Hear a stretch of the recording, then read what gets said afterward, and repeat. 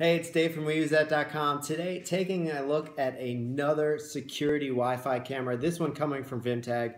Um, it's got some positives, it's got some negatives, so we're just going to take a quick look at it uh, and just give you my first impressions of it so far. Uh, so right now, this is the camera. You'll see it's um, a dome shape here. Uh, the head of it actually rotates around uh, full 360 degrees. Uh, it gives you about an up and down of about 180. So you can pretty much see the floor, you can see the ceiling. Uh, so you really, you get a full range of motion, especially depending on where you put this in the room. You're definitely going to be able to see everything.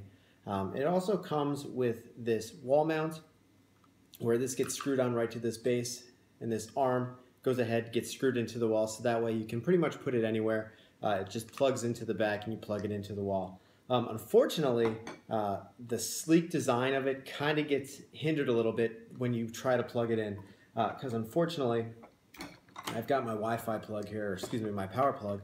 I've got my USB cable, but it does not plug directly into the unit. Instead, you have to use this awkward box.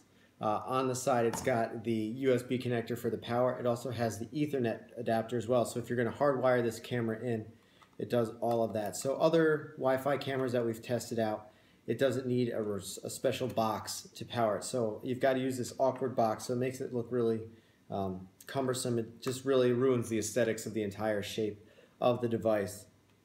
Uh, but once you get it plugged in, what I did like about this is I did not need to plug this into my router or directly into my cable internet to get it set up.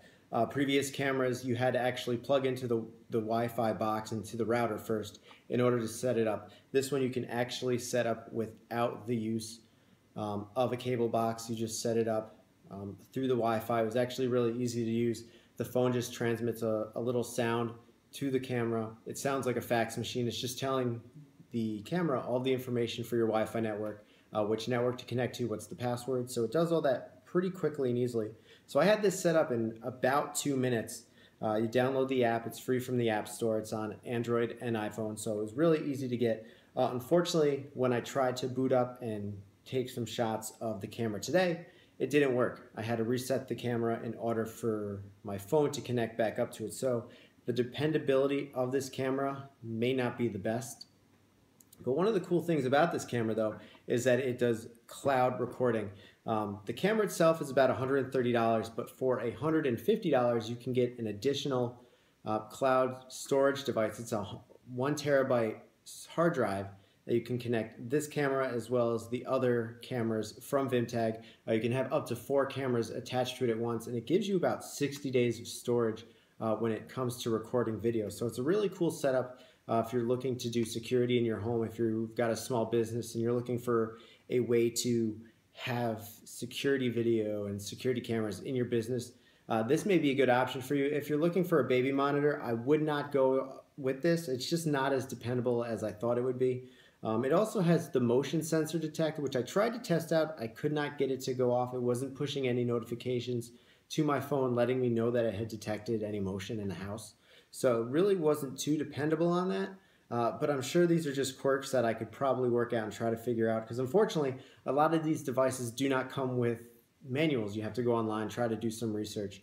Uh, the only thing that really came inside the box besides the camera and the plug uh, was just a quick setup guide telling me how to set it up through the Wi-Fi.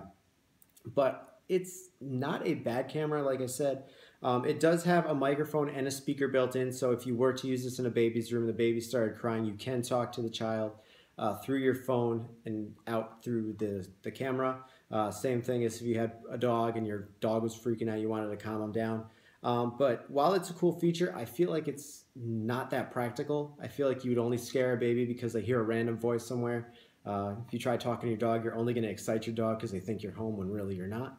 Um, so it's it's a feature that's cool, but I don't know if I'd really use it. Maybe if you wanted to scare a burglar, if you were out on the road and the sensor said, "Hey, someone's in your house," you could say, "Oh, hey, I can see you. I'm calling the cops right now." So you could do that. Uh, but again, it's from Vimtag. The camera itself is about $130. That storage device, again, it's a one terabyte worth 60 days of video. That's about 150. Uh, in addition to this model, this is the P1. There's three other different models of cameras. Uh, you can get different packs on Vimtag's website. I'll put a link down below in the description if you want to check them out. Definitely do that. If you want more from We Used That, I'll also put a link to our website. You can see more of our reviews as well as a full write-up on this camera and many more. Again, it's Dave from We Used That. Thanks so much, and I'll see you soon.